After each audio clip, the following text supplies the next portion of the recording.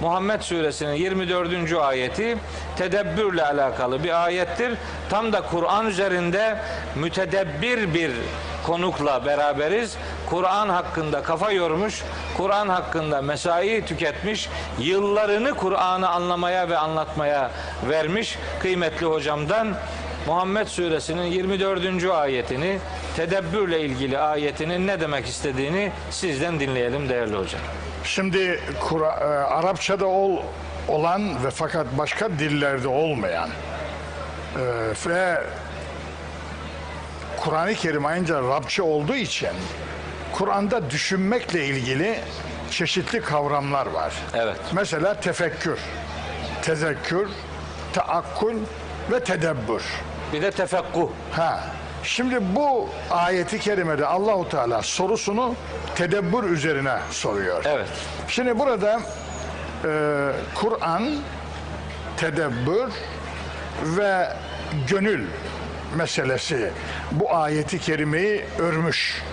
Şimdi ayet-i kerimeyi okuyup manasını verdikten sonra açıklayayım size. Buyurun. Efela yetedebberûnel Kur'ane. Onlar Kur'an üzerine tedebbür etmiyorlar mı? Düşünmüyorlar mı?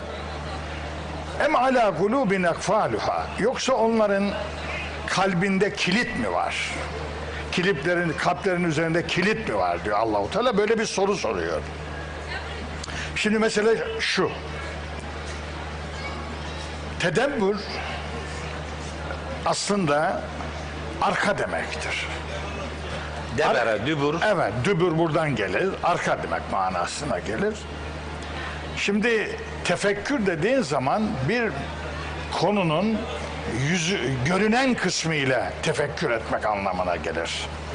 Tezekkür de ibret alacak bir şekilde olan düşünmedir.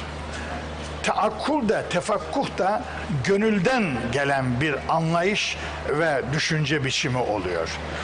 Tedebbür ise meselenin arka boyutunu düşünmek manasına gelir. Farkı budur. Diğer düşüncelerle farkı tedebbürün budur.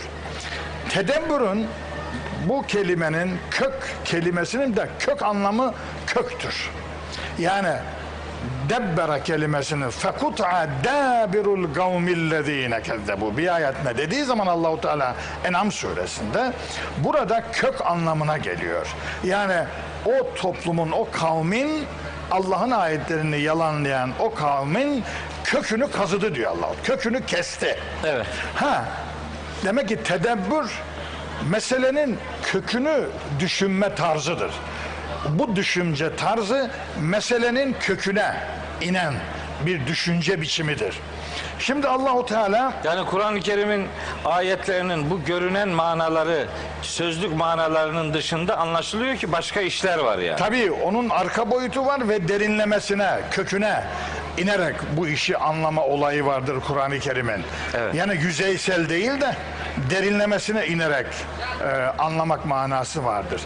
Aynı zamanda düşünce bu efela tedebbür dediğimiz düşünce biçimi de aynı zamanda bu işin sosyolojik ve de siyasi boyutu vardır. Çünkü tedbir almak buradan gelir. Önlem almak. Ha, önlem almak. Ama bu düşünceyle olacak yani akılla olacak yani. Aklın bir faaliyetidir tedebbür. Aklın bir faaliyetidir. Dolayısıyla demek ki eğer akıl çalışırsa, eğer insanlar düşünürse e, meselelere önceden tedbir alırlar. İşte siyasette budur. Siyaset bu tedebbür denen düşüncenin üzerine oturmalıdır. Onun için Eflatun der ki e, devletin reisi insanın bedenindeki akıldır der. Akıl beden ülkesinin reisidir.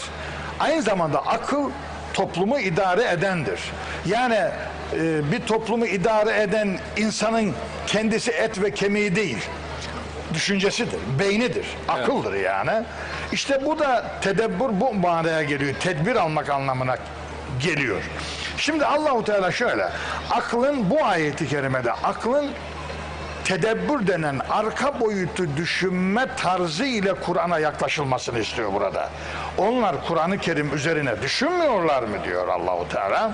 Yani Derinlemesine. Kalpler üzerinde kilitler mi var demek Kur'an o kilitleri söker açar anlamıyla bir bağlantısını kuracak. Var tabii. Evet. Şimdi efe, e, zaten bu tip insanlar, düşünmeyen insanlar e, cehennemliktir.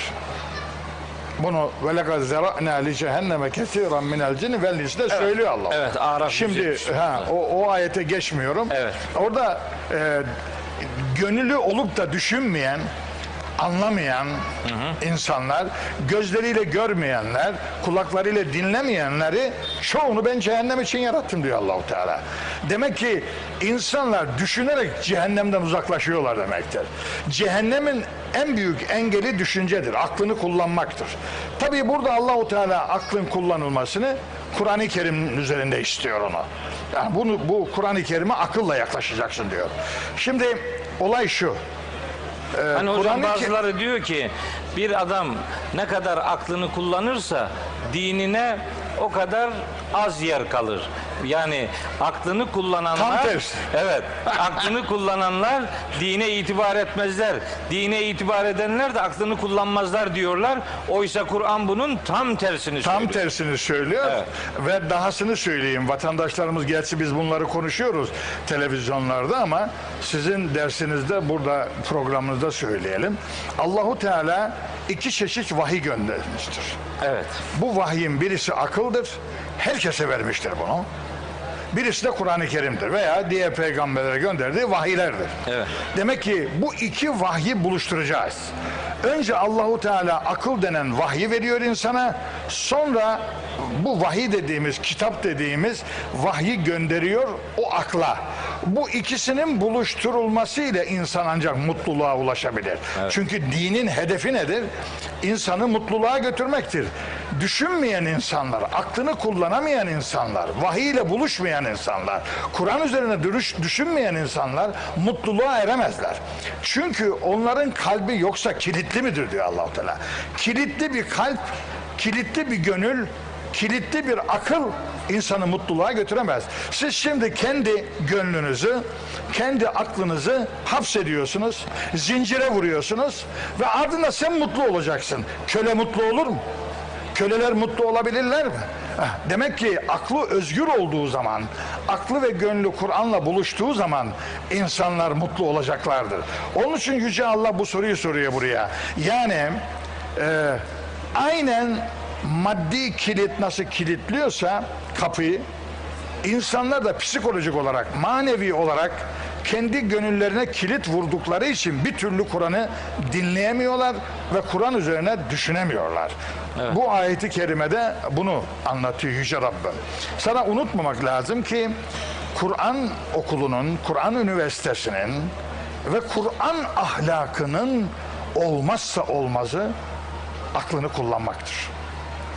Tedebburun da ahlaki bir boyutu vardır efendim. Yani eğer Kur'an ahlakını 500 sayfalık kitap yazdım biliyorsun. Evet. Kur'an ahlakını incelediğimiz zaman ki bu ayetleri teker teker incelemişim.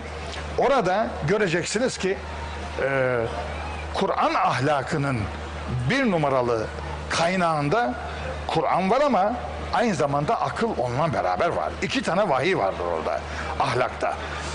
Tedebbür yapamayan ahlakı koruyamaz. Siz ben yakinen bildiğim için izleyici kardeşlerimle paylaşmak istiyorum.